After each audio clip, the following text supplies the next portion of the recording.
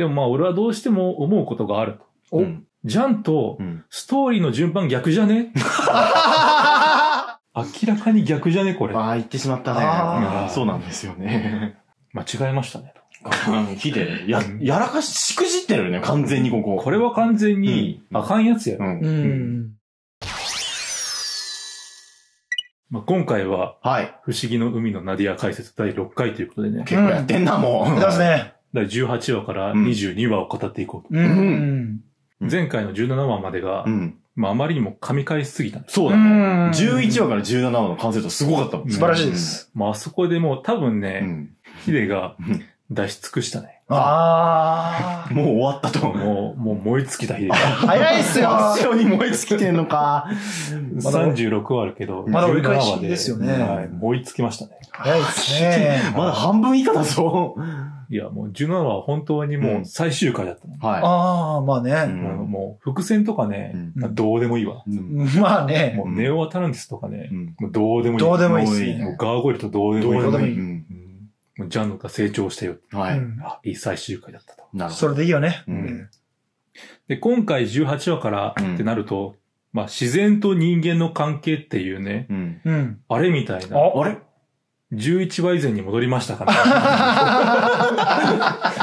まだやってるよって。やってるよ。はいもう世界名作劇場的な、うんもう大切なことは全てナディアが教えてくれる。見てました。ちょっとね、かったるくなってくるよね。まあ、そういうやつですね。で、18話が、うんノーチラス対ノーチラス号っていう、はいうんもう怪獣との戦いですわ。はい。海底火山でのね、う。うんんっていう感じですね。まあ話の中で言えば、まあ丘で情報収集とかすると。うん。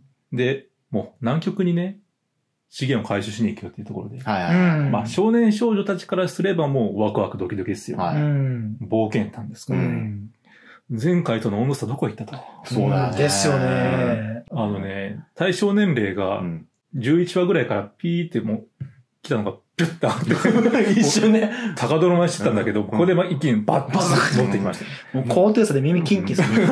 もう本当に頭クラクラしますね。うんなんだ、プロデューサーからなんか言われたのかなと思うぐらいだよね。うんちょっとやりすぎだよね、あの君って。いうところで、まあ、ここで言っているのがもう自然の偉大さですよ。うん。人間ではどうすることもできないっていう人間の偉大さが出てきて、うん。基地へ行くよっていう18話ですね。はいうんはい。それだけです。それだけですね。はい。で、はい19話ですね、次がうん。デモの親友っていう。うんお前友達いたんだね。失礼な。で、まあ、ここで基地に着きまして、超文明のね、はい地下に、ほ南極の地下に基地があるなんて、うん。ワクワクドキドキなやつですけど、うん。もう17 17話を経験してしまった僕たちからすれば、うん物足りないわけですね。物足りないねい。全くね。それでは物足りないわけです。寝ちゃいそうになっちゃいましたね。で、まあ前回のところから行きますと、自然の描写とかね。まあ正直、うんそのね、日本沈没要素が結構多いんだよね。うんああ、そうこの輪っていうのははいはいはいで、ここでのネモがジャンに言うセリフがあると。はいうん科学者に一番大切なものは勘だって言うんだよね。あ、お。でこれは日本沈没でうん。田所っていう学者がうん。そのまんま言ってます。言ってましたねはいはいはいはいはい伊藤さんも言ってましたもんね、それをね。ですからもう本当にうん多分日本沈没からここは持ってきたんだろうなはいはいはい。もう海底2万マイルよりも多分色濃く出てるんだろうなって。全然の使わないじゃん。原作ブレブレですよ。原作、まあ、ネモ船長って使ってますからね。はいはいはいでもそこだけ。そこだけ。で、そこでまあ、氷の博物館みたいな、うん。槍を持った恐竜みたいなのがありますよね。はいはいなんかワクワクドキドキのなんか、うん。UFO 特集を見てるような感じですよね。本当だ。本当にそう。あ昔流行ったな、そういうのってね。うん昔を思い出しましたね。思い出しましたねなんか。はい。何ヶ月に1回かでも特集組まれてましたからうね。んはい。今じゃなくなりましたもんね。なくなりましたね。そして、クジラ型の宇宙人なのか、うん何なのかわかんないんですけど、うんはい2万年生きてるっていうやつと会話をするよと。う。うんんだけど、まあ、特に意味があるのかっていうのはわからないと。そこまで深い話をした感じもあんまりないしね。うんそれも多分せ、あの、自然の中の偉大さっていうのをうんやってるんだよね。ううんんああ、そういうことか。うん。そして、まあ、戦争を起こす理由みたいなのね、うん。語りますわ。はい。その人間っていうのは別にね、愚かではないよ。という感じで、まあ人間の力を信じろっていうね、うん。本当に世界名作劇場になっちまったな。なっちまった 大丈夫かって。で、第20話、はい。ジャンの失敗。ううんで、冒頭出てくるのが、ネオアトランティスっていうね、はい世界の通貨の81%を掌握したよっていうね、うん。なバカな。バなバカな。カな。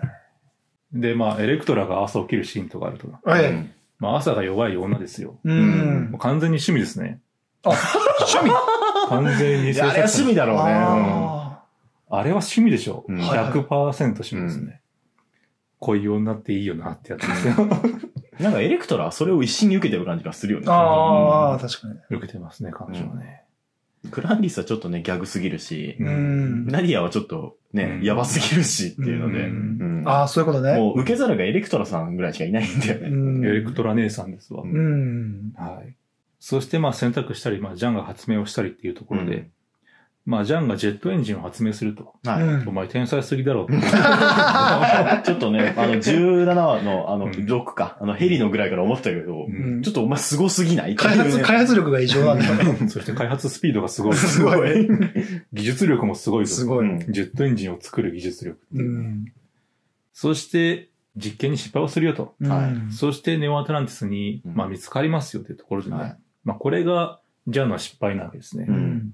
まあ、確かに悪いんだけども、ううん。ん。まあ、そこまで、まあ、しょうがないよねとうん。言えばそういう感じですね。うん。なんか、タイトル見たときは、あ、なんかジャンがやらかすのかなと思ったら、うん。なんか、この程度のことなんだよ。ちょっとやっぱ思っちゃうよね。思っちゃうよね。タイトルにするほどかって。俺らはもう15話を見てますから。そううん。何がなんか、ナディアってこれ多いよね。タイトル負けしてる展開が多いんだよ、ナディアって。ヒデどうした？ヒデどうした？もっと突っ込めよと。うもうあそこまでやったんならもうやりきってくれよ、最後までって思う。何ひよってんだよって。なんでここで腰引けてんだよ、つって。もうつって、もどかしいし。もどかしいですねはい。ヒデにドギマギさせられる？そうですね。そして、まあ、ネモ船長とかに、うん。まあ、怒られると。うん。まあ、行動を自覚しなさいっていうね。うん。うん。で、まあ、すいませんと。うん。まあ、分かったら、まあ、それでいいよっていうところで。まあ、手を出すこともなくね。うん。普通に、まあ、俺が怒るにしてもあ、あのぐらいだよなってやつですよね。うんこれから気をつけなさいよってう。う。ところで落としまして、でもナディアがう、ん。もうどうしてもね、もう許せんと。うん。なぜかといえば、もう前回のクジラに、うん。あなたが求めている人は近くにいるよって言われましてう、ん。ネモ船長が父親ではないかっていうところにちょっと当たりはつけてるんだよ、ナディアはいってですからここっていうのが、もうナディアをちょっと父親のように見て接するというシーンがあう。うん。だから反抗期なんだよ。あはいはいはいはい。うんそのナディアの反抗期が、ここで描かれる。だから、ネモ船長に甘えているっていうシーンがある。あー、なるほど。はいうん。これまでナディアっていうのは一人だったから、うん。甘えれる人がいなかった。うん。それを一心に生きるネモ船長っていうところですね。うん。ですからもう当たりがすごい強くなると。はい。うんもうそれもしょうがないだろうっていうところですけど。まあここで、マディアも自分が思春期だっていうことは、グランディスの会話からわかりますけど、はまあ、分かってるんですね。うん。あなたにも思春期ってあったの？って言ってますから。うんはい。まあそりゃあるわさっていう感じで。でもまあ俺はどうしても思うことがあると。おうんあの、これはいいですよ。ナディアの思春期を描くっていうのは、うんうん。このストーリー上で非常に重要ではあると思う。うん。ただ一つ思うのが、うん。ジャンとうん。ストーリーの順番逆じゃね？明らかに逆じゃね？これ。ああ、言ってしまったね。そうなんですよね。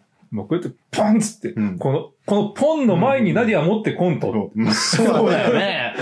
霞んで見えちゃうね。がそうやればもうちょっと急勾配にならずに、うんまだ済んだのにちょっと。そうああ、そうだね、確かに。うんジャンが本当に3 30話ぐらいとかね、20後半であれが来たらすごいうん素直に見えるんだよ。ああ、そっかそっか。うんそう。逆だね。うん。もう一気にジェットコースターのようにバーンって上がる。うん。で、で、こうプシューって下がってね。なんかほんと11話ぐらいの流れから見ると、うんこの話って多分12、3話ぐらいのところに差し込んでおかなきゃいけない話なんだなと思うんだよね。うんそれこそあのトラウマ界の前うにん何とか差し込んでおかないとはいけないところなんだよなと思って。うんそこで逆になってるわけなんだ。う。うん間違えましたね。ヒデ、や、やらかし、しくじってるね、完全にここ。これは完全に、うんあかんやつや。うん。うん。結果、ナディアのエピソード全然いけない、いけないとできない。いきなり何にも生きそう。で俺がさっき言ったみたいに、うぜえとうぜえ女だなと思うしかない。そこしか残らなくなっちゃう。うんそこしか、非常に残念ですね、うんここはね。ヒデが燃え尽きてますから。は いもうやめてもいいんだよって。突っ走りすぎましたね。ああ、そうなの。はい、ジャンが。ちゃんちゃんね。ヒデちゃんが。ヒデちゃん ヒデちゃん。ヒデちゃん。ヒデちゃんで言っちゃいましたね。まあ、ここで語られるのが、うん。まあ、エレクトラたちの事情っていうのがわかるんだよね。うん風呂の中でね。うん。で、復讐をするためだと。うんで、戦う理由っていうね。うん。彼女たちの国をある一人の男がうん。壊したっていうね。はい。でもそこでガーゴイルが壊したとは言わないんだよね。うんで、誰が壊したんだいと。うんガーゴイルじゃないなら誰が壊したんだいっていうところで、うん。まあなんとなくわかるんですけど、うん。そういうその設定上の伏線をうん回収していくよっていう話になってます。はい。まあ結構どうでもいいんですけど。もはや。そうね。もはやねもはや。う。うんん。まあ、正直言うと何が見たいかというと、うんジャンが動く瞬間が見たいんだよね。そううん。うん。うん。ていうか、それをフックに今までずっとやってきてたじゃないって言って。うん。ここでいきなりネオアトランティス出されてもなぁと思って。あまり興味を持てないよね。興味が持てんのよ、この金髪おばさんに、と思って。うん。まあ敵も正直あんまり魅力がないんだようないねん。仮面つけてるなんか男みたいな。そうう。ん。まあ、仮面の意味みたいなやつうん前も言ってたけど、明らかに弊害の方が出てきちゃってるよね、この辺りになると。あなんか非常に、こっからヒデは学んでエヴァを作ったのかなって感じですよ。ですから本当に設定がひあのエヴァでは素晴らしいと。う。うんん。もう逆だよね、ナディアと。うん。はいはい。ナディアはもうあんまり設定がちょっとおろそかで、うん。ジャンたちのそのメッセージっていうのがもう全面に出てきて、うん全面に出て出てきてるがゆえにもうトラウマ界のような回が出てしまう。でもそれは俺たちから見たらものすごい神回なの。神回だうよ。あれエヴァでやってくれよって思うんだけど。うんあのレベルをね。でもこれでしくじったとヒデは。うん。あれで上げすぎても後が続かんかったと。うんはいはいはいはい。じゃあ、エヴァでどうしようかって、ストーリーとかで引っ張ろうよ。で、今度は、ストーリーで引っ張りすぎてメッセージが一切伝わらなかった。最後の最後もうことか。もう、あの、あの最終回にするしかもうなかったんだと。ねもう新エヴァに託すしかないもう。新エヴァの2時間半に託すしかない。もう明日だよちょっと、両極なのはヒデ。極端に振りすぎじゃないか、ヒデ。もう、最高だな、ヒデ。偏っちゃうんだね、いつも前にね。じゃ ちょうどいい具合が、いいないんだよ具な。合がちょっとね、難しいね。難しいですね。ヒデやっぱ燃費悪いよね、ちょっとね。う。うんん。そうだね、ちょっと。一瞬の輝きがすごいね、ヒデはうね。ん。で、今思いついてんだね、だから。今、ビットインのとこだね。タイヤ交換してるのが多分ああ、今ね。制作中にね。制作中に、制作中にタイヤ交換してる。で、21はさよならのオチラス号。はい。まあ、戦闘シーンですよ。うんもう、なんていうのかな。うんもうドキドキワクワク、ワクワクな。うんまあまあね。少年たちにとってはう、ん。回なんですけどう、ん。あのトラウマ界を超えて、でも見た少年少女がう、ん。まだ見てくれるのかな。う確かにね。ん。そして今更これで喜ぶかな。ちょっと疑問ではある。そうだね。はい。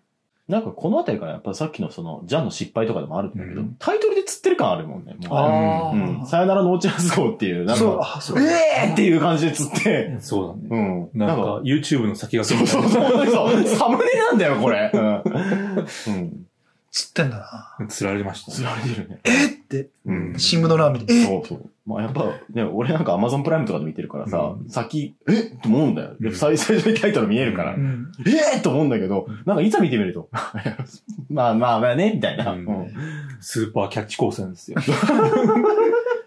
毎回タイトル負けしてるって。もうちょっとなんかないかなう。。うんん。磁石のね、なるほスーパーキャッチ光線うん。そしてバリアもあるよって。ど。うんあの時代にバリアもあるよっていうね。全然体重乗ってないですよ。買い手の体重も乗らなくなってきちゃった。でそしてまあ出てくるのがもう捉えられまして、うん。ノーチラス号が、はいうんもう自爆をしたいエレクトラっていうのができます。うんうん。もう差し違えてもやってやるよとうん。いうところで。まあでもね、最後まで諦めちゃいけないよっていうね、うん一応大切なところは、まあ、伝えてますね。うん。日でもね。うんはい。っていうところですね。はい。はい。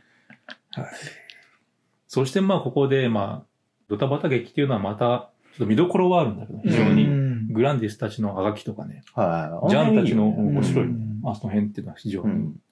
そしてここで、象徴的なのが、ネモ船長とガーゴイルとのまあ対比ですよね。ううんん。ネモ船長っていうのは自分で何もかも責任を取ると。う。うんん。で、ガーゴイルは部下の責任を一切取らない。う。うんん。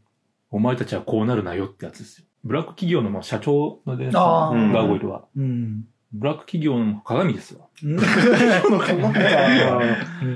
ーチラス号を逃した責任はうん。誰が取るんだい？いや、お前やつって。お前やつって。お前が指揮官だろう、うん。誰が取るんだい？お前の処罰は後でな。うん。お前は誰の立場？うん。誰の責任取るんだいって。うん。クズすぎんだろ。人ついてこんの、それじゃ。でも非常にまあ人望ありますからね。ねガーゴイル。なぜだって。なんであんな人が集まるんだろうって 全然わからないんだけど。いやもう研修とかしてるんじゃない、うん山の中でね。ね。某居酒屋みたいな感じでやってるかもしれないね。やってるかもしれない。うん。で、裏切りのエレクトラっていうね。うん。22話です。おはで、戦闘ブロックを切り離しましてい。、うん。まあガーゴイルをその巻くよと。はいで、ガーフィッシュが全部投資しまして。うん。で、まあ先ほども言ったように、まあ誰が責任を取るんだい、うん。またはいね。ガーゴイルが誰かに言う。うん。お前やっつって。まあここで初めて皇帝の存在っていうのが明るみに出ると。はいはいはい。うん全然出てこなかったけど。そうだね。はい。まあ前のところから言えば、ナディアの兄かなみたいな感じですう。よ。ん。ナディアの兄が出てきまして、うん。真っ赤な部屋で、うん。もう一人だけね、なんかね、座っていると。うん。なんか非常に生活感のない部屋でしたね。うんはいただ、王座に座っているだけ。う。うんんあ、こいつお飾りなんだなって一発で一分か発でわかるね、あれね。うん。それだけのための絵です、彼っていうのはね。うんまあ、エレクトラがネモを持つよと。うん。仲間割りをしますよと。うんなんで自爆をしなかったんですかと。うん昔のあなたなら自爆をしていたでしょうっていうところで。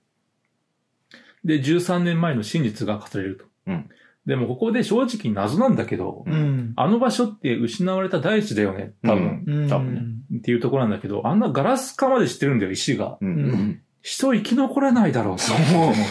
うん。あとね、バベルの塔の描写も全然違うし、あ高さが違うんだよ、うん全く。はいどっちが正しいんだよと。どっちかにしてくれと。うん。そして、海藻の中で海水がすごい入ってくると。さすがに沈むだろうって思う。しあの自動修復機能でもないと。うんはい。あんのかなって感じですけど、うんもうわからん。ようわからん。ようわからんし、うん。あの、失われた大地っていうのがもう基地であると。うん。で、その場所を知らないから、うん。ガーゴイルたちは入ってこれないんだと思ったんだけど、お前ら場所知ってるやんけ。そうなんだよ。なんでお前ら待機しとかないのみたいなうん。はい。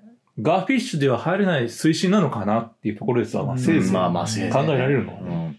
でももうちょっとなんか考えとけよっていうね。うんそう。バベルの塔作るぐらいのね、うんあれがあるんだったら先にそっちを作ればいいのにと思うんだけど。そっち先に押さえとけよっていうね。そう。だって、あの、なんか総帥みたいな人言ってたもんね。うんこれで私の敵は、あとはもう、ノーチラス号とネモだけだ。ううんん。いや、先にそっちを潰してからバベルの塔を作らなきゃダメなんじゃないのって思うんだよ。うんいろいろ突っ込みどころがあるところでしたね。うんそうですね。はい。そして、まあ、クーデターが起きていると。うん。で、ガーゴイルが、でもあそこでガーゴイルが、うん。海藻の死んだブルーウォーターを首に下げてるんだよね。う。うんん。でも船長のやつを。うんはい。お前どういう経緯でそれをうん手に入れたんだと。で、逆に、じゃあなんでネモが今それを持っているんだうん。謎ですわ。そううん。じゃあもうガーゴイルが実はネモだったのかみたいあー、そうだな。ね。でもクーデターっつってもあいつ王だろっていう。王がクーデターするってどういう、どういう状況？ダメだろ破綻してるいやー、すごいね。うん本当に。ようわからんぞと。ん。何もわからんぞ。エヴァ以上にわからんぞって。事実関係が何もわからんぞっていうね。成功が、整合性が取れてないにしても程があるよね、やっぱり。あれっつって。誰か俺に説明をしてくれるって。これこそ解説が必要だ。来てよ、来てくれって真相を、うん。ナディアの真相こそ本当に解明すべきであろう。新ナディアをお願いします。みんなでお願いします。いや、確かにね。あれは本当にすごいよね。うんうん俺唯一寝なかったもん、この回。うんあの、すごいものが多すぎて。むちゃくちゃすごい何を言ってるんだ、ずっとと思って。な、何やっつって。っうん。ていうところで、ネモたちの会話っていうのが出てくると。うん。エレクトラがう、ん。盗み激化シーンで、あれ一人ガーゴールじゃね？っていうう。。うんん。最初仲間だったのかみたいな。じゃあその時点でガーゴ、あの、ネオアタランティス動かしてたのって、誰なんだってそうだねうんそこでもわからん。うん。わからん。じゃあ一番最初に出てきたガーゴイルって本当に誰みたいそうだよね。本当に思うわ。な。あの仮面の下には何が？ある何がある？んだ誰うん。あ実は双子だったみたいな 感じが？でも双子だったみたいな感じかもしれない。ひょっとしたらね。いや、もう双子説しかちょっと考えられないぐらいになっちゃってる。はい。で、そしてネモが自爆しない理由っていうのが、まあ、エレクトラがいるからだよ。うん。君のために自爆はしないんだっていうね。まあ、そうかもしれないけど、うん。ナディアもそこに入れてやってって感じ。そう あだね。エレクトラとナディアのためなんだよ。うんそれならいい。うん。ナディアも今までの話上からもね。うんちょっと何入れてやってくれないかな、そこにって。聞いてなかったとし、聞いてないと思っていたとしても、ん。入れてやってくれない。うん俺ら聞いてんだからさ。俺らは聞いてない。俺らは聞いてんだよ。まあ、エレクトラの、もう憎しみだけで生きてはいけないよっていう。う。うんん。まあ、非常に大切なシーンなんですけど、はでも、15話、16話、17話を通っている我々からすればい。う、ん。もうヒデの心の叫びっていうのはそこから全く聞こえないわけですよ。ううん。もう物足りないわけですよ。物足りない。非常に物足りない非常に物足りない。ヒデの気持ちを知りたい我々としては、非常に物足りない、今回。うん熱量が足りない。そう。うんヒデの熱量が足りない。う。うんん。もうね、世界名作劇場になってますから。うん。しかも整整合性むっちゃくちゃあってる。めちゃくちゃ。本当に燃え尽きてる感あるよね、この辺ね。惰性でアニメ作ってるって。うんあ、これでいいよ、つって。アニメの現場ってそんな現場じゃないでしょ。命がけでしょ。お獅子類類ですう。ん。はいすげえ。そして、なじゃあ生きろーって。うん。あの、レモの熱量は高い。熱量高い。大塚さんのね、熱量がすごい。ヒデの熱量は下がったけど、うん。キャラクターの熱量は上がってきたよ。そうだねそれ一番良くないパターンじゃないのそして 3D 映像の家族写真が描かれるよ。うん。で、あそこに描かれるのが多分皇帝とガーゴールなんだなってやつです。はいはいはいはい。あそこに映っている右腕がガーゴールなんだろうなってはいはいいうところで。うんまあ逆にあいつがガーゴールじゃなかったら、あいつは何なんだって。時は 時は、時は。時は、時はパートまあ次回からは、あの、無人島にナディアとジャンが出つくよっていうシーンですね。あの、評判によりますとう、ん。非常に評判が悪いです。はああ、本当に。はい。い。いや、僕も伝え聞いてはいまはい。す。無人島界は結構ひどいらしい。ああ、うん黒歴史。だからもう、本当にヒデが多分燃え尽きたんだろうなっていうああ。う。最後に巻き返すのか、巻き返さないのか、それはわからん。そうだね。なんか、もう徐々に徐々に本当に、ああ、本当にないんだ。でだから無人島会がこの後あるって分かった時に、うんああ本当に燃え尽きたんだと思う。うんあ、ああ、もう惰性でやってる。もう本当に HP がゼロになっちゃったんだな、ここでっていう。あの、無人島界は主に樋口さんがやってるらしい。うんあ、そうなんだ。ですから本当にもう、ヒデは本当に燃え尽きたんだろうな、ここで。うーん。え、終わりまでこのままですかもしかして。いや、かもしれない。ひょっとしたら。ひょっとしたらね。多分、ヒデが言いたいことは11話から17話で全部やったもん。そう。やりきったうん早いんだな、それが。ワンクールアニメでいいんだよ。でも何が本当に。もう、要は満足じゃん。そ伝えられて、要は満足じゃん。もう、こっからでもわかるよねうん。ヒデ。設定どうでもいいんだよう。ね。そう。マジでまあ本当にそうだよね。設定回収する前にヒデ燃え尽きてますから。そうそうだね、確かに。あと、脱線になってるんだよ。うん。この人間性がう、ん。エヴァで急激に変わるのかっていうと、変わんないよね。変わんないね。変わんない変わんない。新しい伝えたいメッセージを思いついてるだけなんだと思う、多分。そういうことですよ。うんうん。はい。いやー、ヒデさんのやっぱ作家性だよね。うん。ん作家性の人でよ、あの人は。う。うんん。だよね。なんか、そのな、トップを狙える時もさ、うんやっぱなんだかんださ、凝ってる設定作ってんのって、お母さんたちと思うじゃん。はいあ、そうかそうかそうか。うそうかん。まあだってもっと言うとウルトラマンになりたい人だからね、あの人は。うーん。そうそうだね。学生の頃は自分がウルトラマンになった人だから。そうう。ん。俺がウルトラマンだ。そう、ウルトラマンを作るっていう感覚じゃないんだよ。ウルトラマンになりたいんだもん。ああ、はいはいはいはいはい。うんなんかその辺でもやっぱすごい、なんていうのかな。イメージとうん実際のヒデの乖離がすごいあるよね。オタクって言ってんだけど、うん。なんか俺たちがイメージする、いわゆるのオタクではないんだな、この人っていうのがなんかすごいわかる。うん非常にあのね、あ、ここの人ですよ。そう。本当に心臓を捧げてるよね、ヒデは。ヒデはここの人です。あでも全然イメージ変わりましたね、この解説を通して。ハートの人です、あの人は。うん本当だね。う。うんんもっと気難しいとかと思ったらね、ななんか、実はそうではないと。そう、別にその、だからウルトラマンのその、設定とかに感動してるわけじゃなくて、ウルトラマンの心に感動してる。うんうんだからウルトラマンになりたいんだあの人って。うんで、好きすぎて結果的にすごい設定にも詳しくなるんだよね。そう。うんだから順序が逆なんだよね。みんなが思ってるやつ。はいはいはいはいはいはい。本当にそうだと思うわ。うんだから下手すると俺、ヒデさんって、ウルトラ回収全部覚えてるのかって言われると俺微妙なラインだと思うん。ヒデさんってうんう。すごい好きな回は覚えてるんだろうけど、うん。なんか全部が全部ちゃんと覚えてるかっていうと、俺ヒデさん覚えてないタイプだと思うう。うんん。私なんか、ウルトラマンを語る回でも、うん怪獣が好きって話の時に、僕はウルトラマンが好きですって。そうそう怪獣は好き、なんか、よりもウルトラマンって言ってて。ううん。というところで、はい。まあ、ナディアを見まして、はい。もう図らずも、あの、ヒデの人間性っていうのが、すごい見えてきて。あの、あの、間接的に。なんか不思議な、不思議な伝わり方ですよね、なんか。あの、正直ちょっと、うん。ナディアの内容に関して言えばちょっと盛り上がり、盛り下がったかなって感じありますけど、うんヒデの心を知るっていう上では、いい判断材料になる。不思議な楽しみ方だよね。うんエヴァだけでやっぱ設定どうでもいいと思ってるの判断するのはちょっと、早計だと。う。うんんだから私は非常にもう満足。満